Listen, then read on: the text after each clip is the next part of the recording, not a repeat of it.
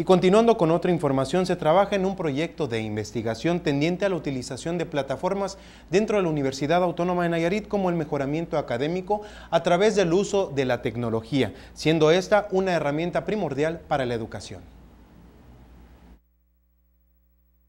Dentro de la certificación universitaria y el mejoramiento académico a través del uso de la tecnología como herramienta esencial en el aspecto educativo, se trabaja en un proyecto de investigación tendiente a la utilización de la plataforma Moodle, utilizada en esta máxima casa de estudios desde 2007 por las razones de impacto que se ha registrado ante el personal docente, ya que ella ha representado múltiples alternativas en el desempeño estudiantil y en el propio acercamiento con el estudiante universitario. Así lo dio a conocer el Cuerpo Académico de Sistemas de Información adscrito a la Unidad Académica de Economía de la Universidad Autónoma de Nayarit. Nuestra investigación, la, de mi parte nada más son los docentes. Eh, nada más los docentes es que estoy investigando si les está gustando, por qué no, y propongo alternativas para que lo usen. Por parte de mi compañera Yolanda, ella sí está viendo el impacto que tienen los alumnos el utilizarlo como plataforma, como, eh, como apoyo dentro de sus clases presenciales. En ese contexto, la utilización de la plataforma como herramienta académica facilitará la retroalimentación alumno-docente, además de elevar el nivel de aprendizaje como clase presencial.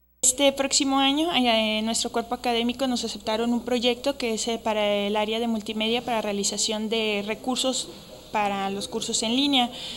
vamos a contar con alumnos que van a hacer sus prácticas profesionales con nosotros, realizando los recursos didácticos de este, Hot Poteros, Excel Learning, Camtasia, Movie Maker, audios y se los van a utilizar los docentes dentro de la plataforma. Esto es un apoyo precisamente que dentro de las investigaciones descubrimos que los docentes no cuentan con el tiempo de hacer todo este material, entonces nosotros brindamos un área donde los mismos alumnos van a hacer el material guiados